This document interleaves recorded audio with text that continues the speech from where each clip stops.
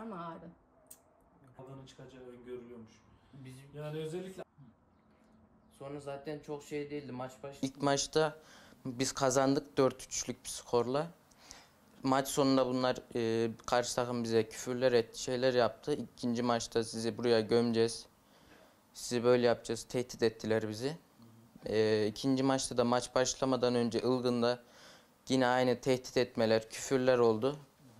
Maçın içinde zaten daha maç başladığında hemen e, ani sert bir şekilde e, vurmaya başladılar bize.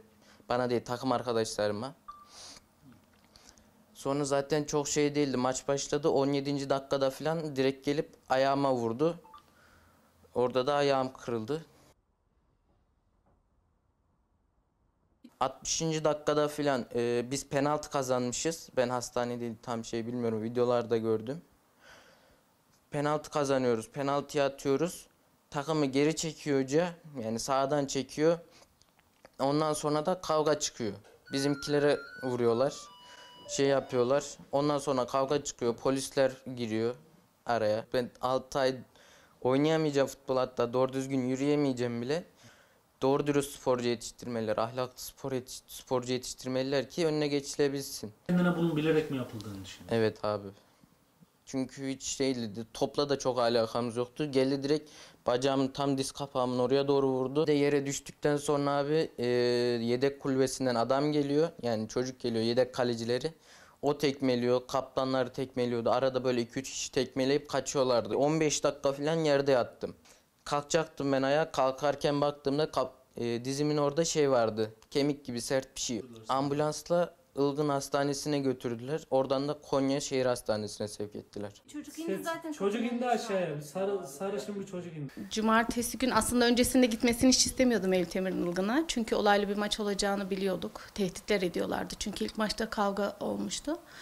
Ee, çok ısrar ettim ama takım arkadaşlarını yalnız bırakmak istemedi. Bir de son maç önemliydi onlar için. Şampiyon olacaklardı kazanırlarsa ya da berabere kalırlarsa. Melih Temir ameliyat oldu. Şu an dizinde 3 tane e, çivi var. Kıkırdağı Platin. e, platin değil çivi dışarıdan görünüyor zaten. Onlar bir ay boyunca kalacak. E, kıkırdağın kemiğe tekrar kaynamasını sağlayacak.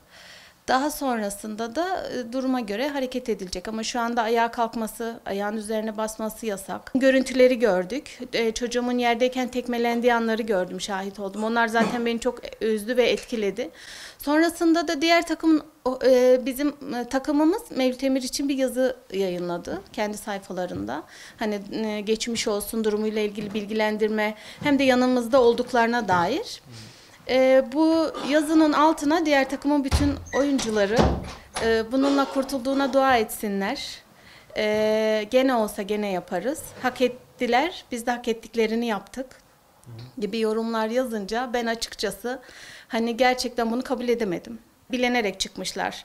Ee, seremonide selamlaşma olduğu anda bile ellerini verip selamlaşmıyor bizim çocuklarımıza çocuklar. Özür dahi dilemediler, geçmiş olsun dilemediler ama sonrasında sanırım verilen tepkilerden sonra hocaları aradı.